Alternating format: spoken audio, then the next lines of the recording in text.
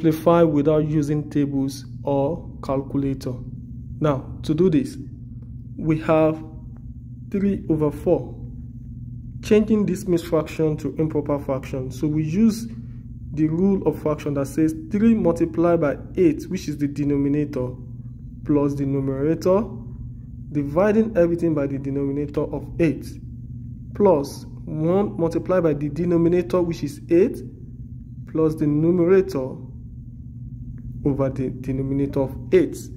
This is the method used for converting mixed fraction to improper fraction. Also, for this, so we're going to use the same method. Here we have 2 multiplied by 8 plus 1 divided by 8 minus 1 multiplied by 2 plus 1 divided by 2.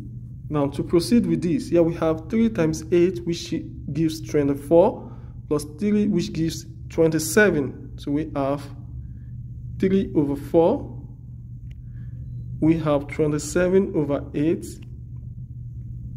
plus 1 times 8 is 8 plus 5. This gives 13 over 8. And here we have for the denominator 2 times 8 is 16 plus 1, 17 over 8 minus 3 over 2. Now, to make this 3 over 2 be the same denominator, then you can multiply by 4 over 4 so that the denominator can be the same thing as 8. Now, here we have this to be 3 over 4.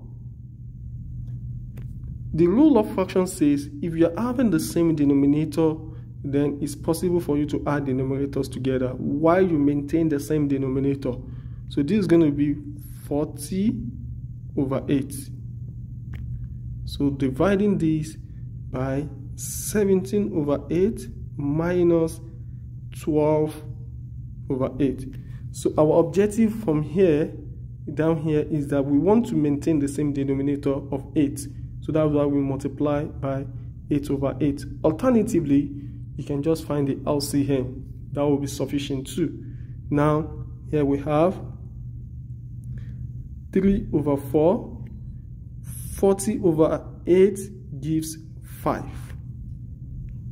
Divided by 17 over 12, which is the same thing as 5 over 8. Now, solving from the, further from here, we have 3 times 5, which is 15 over 4, divided by 5 over 8. And you remember the rule of fraction that says 15 over 4.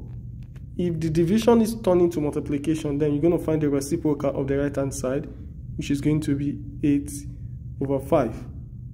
Now 8 over 5. 5 here 1. 5 here we have 3. 4 here 1. 4 here we have 2. So for the numerator we have 6. Thank you very much for watching. Please don't forget to subscribe.